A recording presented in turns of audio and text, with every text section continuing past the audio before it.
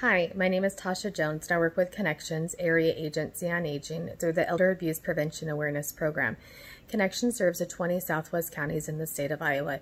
We are partnering together with the other five area agencies on aging to bring awareness to elder abuse, show the different forms of abuse, and ways together that we can engage to prevent future abuse.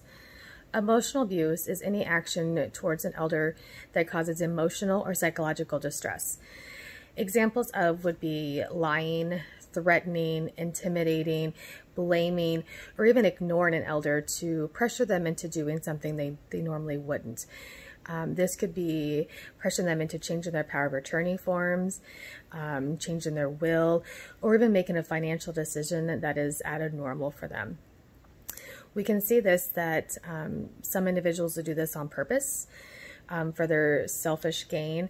Others do it um, as a very passively, not meaning to, um, with the added stress on maybe being their caregiver, um, even the added stress with the COVID-19 pandemic that we're going through um, with you know the social distance that has them have less support in that unique role that they fill um, so it is important that even though we are encouraged to do social distance that does not mean that we do not socially engage um, ways that we can engage um, safely is that we can still call individuals, call our elders, call our caregivers, check in on them to make sure that they're doing okay, making sure that they have what they need.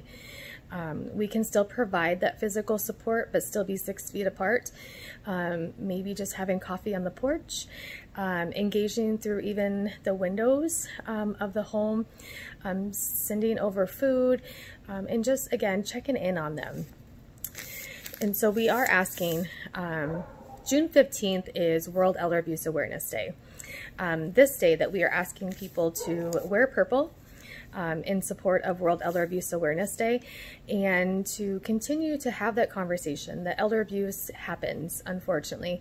Um, and we need to together again as a community take a stand educate support to prevent future abuse so if you know anybody who uh, may be experiencing abuse or uh, may just need some resources um, if you call lifelong links at 866 468 7887.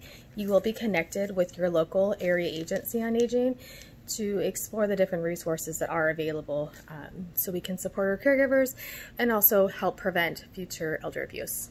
Thank you.